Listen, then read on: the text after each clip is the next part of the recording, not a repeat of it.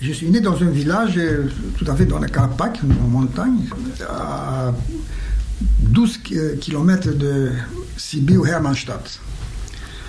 Et ce village, je l'aimais énormément. Et quand je l'ai quitté, ça a été pour moi, je dois dire, à 10 ans, j'ai quitté ça pour aller au lycée de Sibiu. Je n'oublierai jamais le jour, ou l'heure plutôt, où mon père m'a emmené à Sibiu. On avait loué une voiture à cheval, n'est-ce pas, un cheval. J'ai pleuré. Je pleurais tout le temps, avec une sorte de pressentiment que le paradis était fini. Pour moi, les journées s'est réduisaient à ça.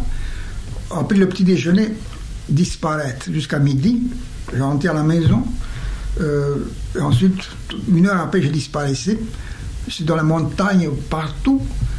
Et ça a duré jusqu'à l'âge de 10 ans. Alors, il y a eu l'avantage de la guerre de 14. Euh, mes parents avaient été déportés par les Hongrois, comme Roumains. Et j'étais resté, mon frère et ma soeur, Antoine, c'est une grand-mère qui s'occupait de nous, mais nous étions totalement libres. Et c'était l'époque idéale. Alors j'aimais beaucoup les paysans. Et plus encore que les paysans, les choban, c'est des bergers. Vraiment, j'avais une sorte de culte pour eux.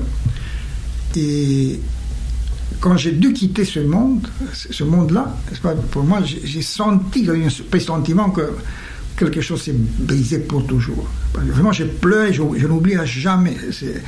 Sibiu était donc à 12 km, 14 km de, de, comme c'est mon, pays, mon village.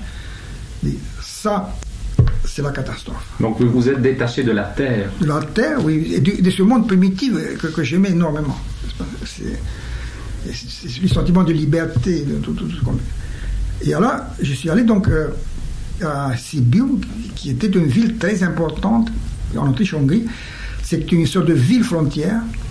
Euh, il y avait énormément de, régiments, tout ce qu'on peut imaginer. il y avait trois nationalités. Donc, euh, c'était allemande, roumaine et hongroise, qui cohabitaient, je dois dire, sans drame. Et c'était curieux que ça m'a marqué pour le reste de ma vie. Je ne peux pas vivre dans, dans une ville où on ne parle qu'une seule langue. Ça, ça je ne peux pas, n'est-ce pas? Ça, je m'ennuie tout de suite. Mais là, j'aimais justement cette diversité, qu'il y avait trois cultures. Enfin, la, vraie culture, c'est la culture allemande, et, la hongroise, les, Roumains, c'était au fond des esclaves qui, ont été libérés, n'est-ce pas, après la guerre de 14. C'était un, monde qui, s'affirmait, mais qui était à ses débuts. Mais en tout cas, c'est après mon village natal, c'est la ville à laquelle je m'ai attaché énormément, c'était cette ville de Sibiu, Sibiu Hermannstadt ou Noxeben en hongrois. Si le mot nostalgie, ça a un sens, c'est quand même c'est le regret d'avoir quitté une ville comme ça, et même d'avoir quitté mon village. C'est au fond le seul monde euh, véritable, c'est le monde primitif, où tout est possible et rien n'est actualisé. Ainsi, vous avez plusieurs fois perdu votre paradis terrestre. Oui, oui, oui, oui plusieurs fois. C'est avoir abandonné ma, mon enfance et ensuite ma vie à, à Sibiu. Mais pour moi, Sibiu, pourquoi c'est une ville importante? Parce que c'est là que j'ai subi le grand drame de ma vie, n'est-ce pas, qui a duré plusieurs années et qui m'a marqué. Alors pour le reste, c'est tout, tout, tout ce que j'ai écrit, tout ce que j'ai pensé, tout ce que j'ai élaboré, tout, toutes mes divagations, trouvent leur origine dans, dans, ce drame. À peu près à 20 ans, j'ai perdu le sommeil. Et ça, je considère que c'est le plus grand drame qui puisse euh, arriver dans, dans, une existence. C'est pas du tout d'être en, en, prison, tout ça, ça me semble rien, à côté de, ce drame qui, était le, mien, qui a duré très longtemps pour moi, c'est les nuits de Sibiu, c'est les moments les plus extraordinaires de ma vie. Je sortais vers minuit, vers une heure, je me promenais dans les rues. Et il n'y avait que quelques putains et moi. Dans une ville, c'est le silence total, la province, etc. Et pendant des heures, je me promenais dans les rues, comme une sorte de fantôme. Et tout ce que j'ai pensé, tout a été élaboré, si vous voulez, pendant ces nuits. C'est à ce moment-là que j'ai écrit euh, mon premier livre en roumain qui s'appelle euh, Pecul mille et sur les signes de désespoir. C'est un livre que j'ai écrit à 22 ans, euh, qui était une sorte de testament.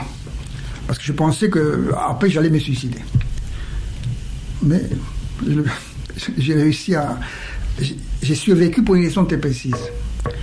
C'est que je n'avais pas à pratiquer un métier. Parce que je ne pouvais pas. Et ça, c'est très important. Comme je ne dormais pas la nuit, comme je me promenais dans la ville, mais je j'étais bon à rien pour la journée, n'est-ce pas? Je ne pouvais pas pratiquer un métier. Je, ne pouvais pas être professeur. Parce qu'on ne peut pas, euh, quand, on veille toute la nuit, on ne peut pas aller faire euh, le pitre devant, devant, des élèves, parler des choses qui ne vous intéressent pas, etc. Et pour moi, ces nuits de Sibiu, c'est ça l'origine de ma vision du monde.